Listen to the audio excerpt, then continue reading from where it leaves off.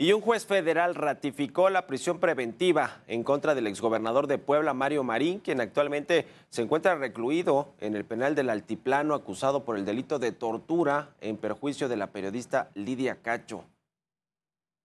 Y tras darse a conocer esta noticia, Lidia Cacho aplaudió la decisión de las autoridades. La también escritora detalló que hasta la fecha se han podido comprobar los nexos del Gober Precioso, como se le conoce, por una llamada que tuvo con Kamel Nasif,